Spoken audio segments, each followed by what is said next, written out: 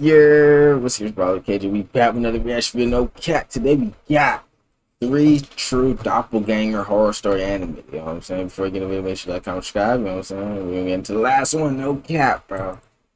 This Let's see this, bro. A while ago, when I was about nine years old, Okay. it was an early morning around dawn when I suddenly woke up to see a tall, strange figure standing over me. What the It fuck? must have been watching me while I was asleep. All right. It had a blank, pale face, but it still looked like a real person, and it looked exactly like my mom.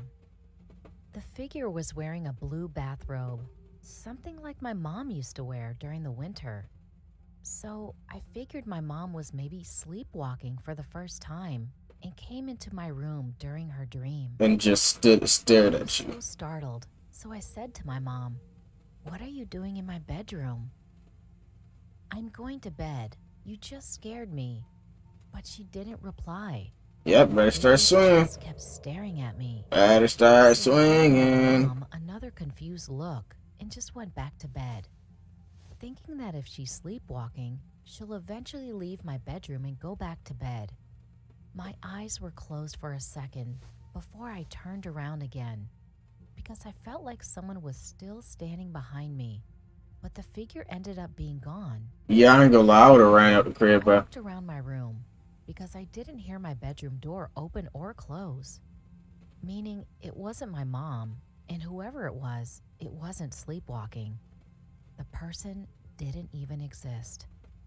A few days later, I told my mom A few asked her again days? about why she was in my bedroom at 6 a.m.